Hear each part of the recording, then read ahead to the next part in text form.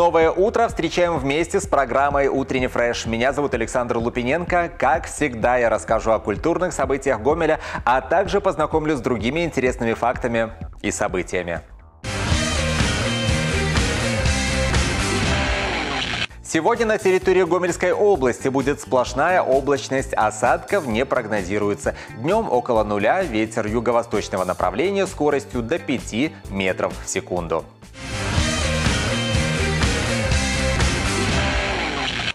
Гамельчан ждет презентации выставочного проекта «Экспонат. История Золушки на музейный лад».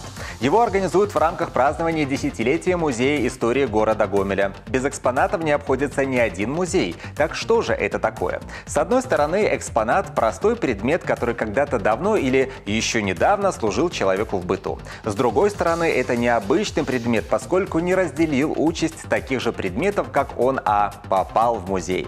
Посетить выставку можно с 28 ноября. Гостей Музея истории города Гомеля ждет знакомство с современниками исторических событий 20 века.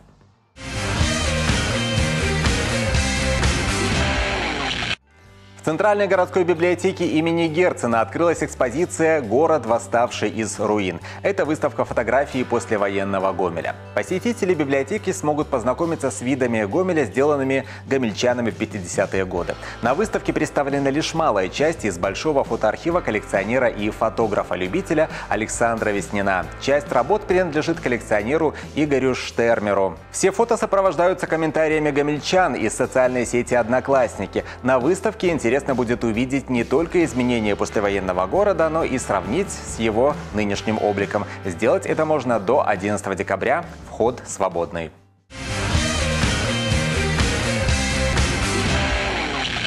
Молодежный театр в Гомеле готовит премьеру. Детектив «Последнее дело инспектора Рафинга». В уединенный особняк, где проживают пять женщин, приезжает инспектор. Он должен выяснить, что произошло в доме – убийство конюха или несчастный случай. Поскольку посторонних в особняке не было, преступление могла совершить только одна из женщин. И чем ближе дело к развязке, тем запутаннее ситуация. Напряженность расследования в спектакле уживается с легкостью текста. Создатели, кстати, утверждают, даже самый искушенный любитель детективов до финала не сможет ответить на главный вопрос постановки. Премьерные показы в Молодежном театре запланированы на 29 и 30 ноября.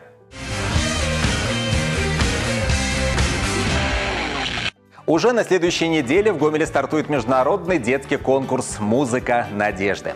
Участниками состязания станут юные исполнители не только из Беларуси, но и других стран ближнего и дальнего зарубежья. В этом году «Музыка надежды» будет проходить на базе колледжа имени Соколовского со 2 по 6 декабря. В программе не только конкурсная часть, но и мастер-классы от членов жюри. Победители будут ждать дипломы, призы и подарки. По традиции лауреаты конкурса примут участие в заключительном концерте. Здравствуйте!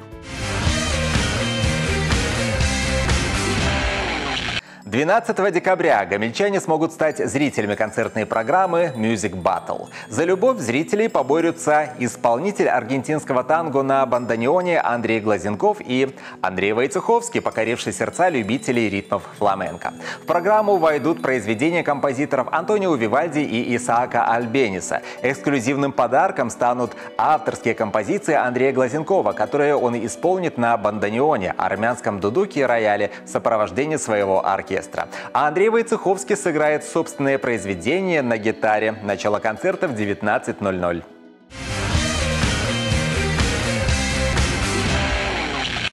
Новогодняя служба Деда Мороза и Снегурочки уже готовится к любимому празднику. Зимний волшебник, который живет в национальном парке Припятский, наградит победителя конкурса на лучшее письмо себе. Участникам нужно рассказать о своем самом заветном желании. К информации можно приложить рисунки и фото. Письма будут принимать до 25 декабря. Несмотря на то, что мгновенно исполнение желания любимые герои обещать не могут, авторы наиболее интересных и оригинальных посланий будут отмечены.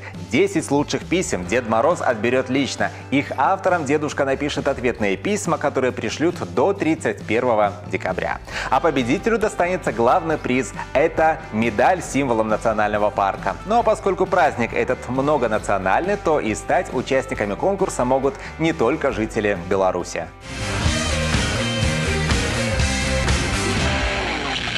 К другим интересным новостям. Союз мультфильм планирует выпустить новую серию легендарного советского мультфильма «Умка». Студия считает, что история медвежонка требует логического завершения.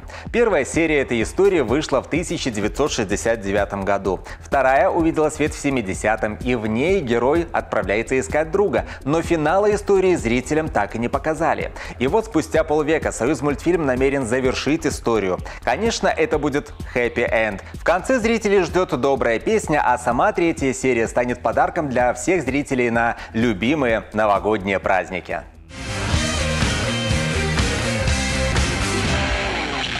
Ученые из Австралии придумали, как перерабатывать все виды пластиковых отходов. Инженеры создали специальный реактор, который разлагает пластик на химические составляющие. На выходе получается то, из чего он был получен. В процессе переработки используются горячая вода и высокое давление, а вновь образованный материал можно превратить в топливо или в новое сырье. Технология должна позволить утилизировать все пластиковые отходы, прежде непригодные для вторичной переработки. Пока в планах создателей открыть первый завод, который, как ожидается, уже в первый год работы сможет переработать до 20 тысяч тонн пластика. Получится ли осуществить задуманное, покажет время.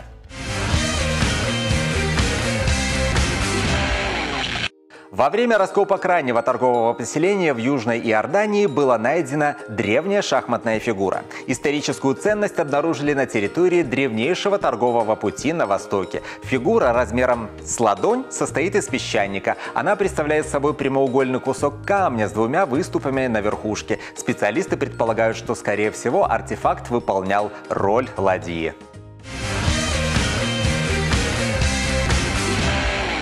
В Болгарии инженер сделал робота-гуманоида из бытовой техники. В качестве глаз выступили камеры фотоаппаратов. Роль туловища сыграл компьютер. Передвигаться устройству помогают детали DVD-проигрывателя. Также робот может распознавать предметы. Его рост 170 сантиметров, весит всего лишь 50 килограмм. Гуманоиду дано имя Рокки, ведь в прошлом его хозяин занимался боксом.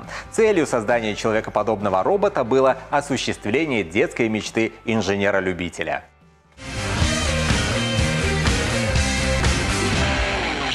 Небезызвестно, что многие органы чувств у кошек развиты куда лучше, чем у других представителей животного мира. В частности, можно отметить, что кошачьи даже немного синоптики. Они чувствительны к разным колебаниям, что, например, позволяет вовремя распознать признаки приближающейся грозы. Причем это происходит задолго до того, как люди начнут слышать раскаты грома. Перед непогодой в кошачьих ушах происходит характерное падение атмосферного давления, а развитое обоняние улавливает запах приближающегося дождя. Поэтому, если вы не очень доверяете метеорологам, но часто задаетесь вопросом, будет ли дождь, понаблюдайте за своими кошками.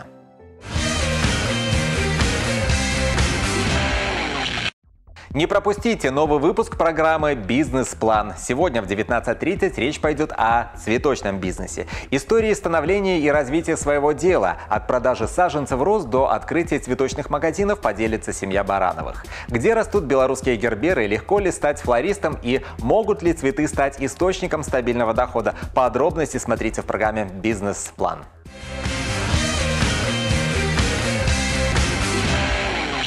Программа «Добрый вечер, Гомель». Это разговор на актуальные темы, рассказ о ярких событиях из жизни нашего региона, интересные гости в студии и известные ведущие телерадиокомпании «Гомель». Сегодня вечером смотрите новый выпуск, а также подписывайтесь на наш Инстаграм и присоединяйтесь к нашей группе ВКонтакте. Включайте телеканал «Беларусь-4» в 2025. Это прекрасная возможность приятно провести вечер всей семьей у телеэкрана. Звоните к нам в студию, делитесь вашими историями и принимайте участие в наших розыгрышах розыгрышах. Новое утро с вами встречали утренний фреш и я, Александр Лупиненко. Желаю отличного настроения на весь этот день.